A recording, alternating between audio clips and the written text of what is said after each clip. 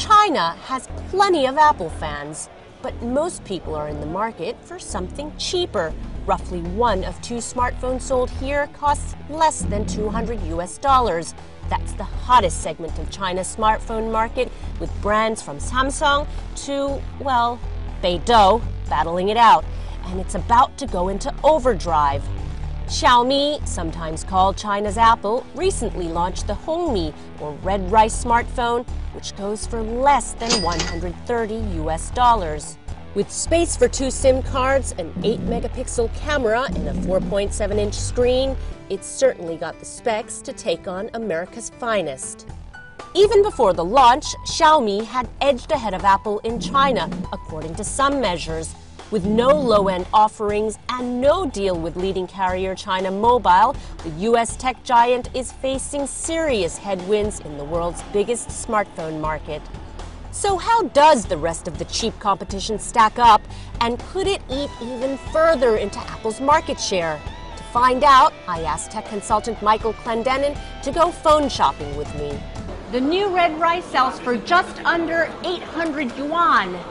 Let's go see what we can buy. In Shanghai, finding phones under 800 yuan is a challenge. We're told they're more popular in smaller Chinese cities.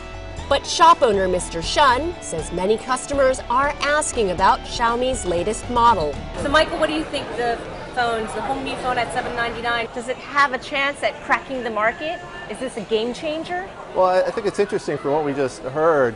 Uh, if you look at the market in the past, 800 to 1200 has actually been the more popular price band, but I think that's because we never saw a good phone below 800, right? We just saw cheap phones, but they looked, they felt cheap. So in that way, it could be a game changer. Apple can't be counted out just yet. Expectations are mounting that it will strike a distribution agreement with China Mobile, maybe in time for the launch of a budget iPhone that rumors suggest could cost as little as 100 US dollars. The Apple brand is very popular, and an Apple smartphone at that price, everyone would want one. At least there's one winner the consumer. For increasingly less, we're all getting a lot more. But the picture may not be so pretty or profitable for smartphone makers.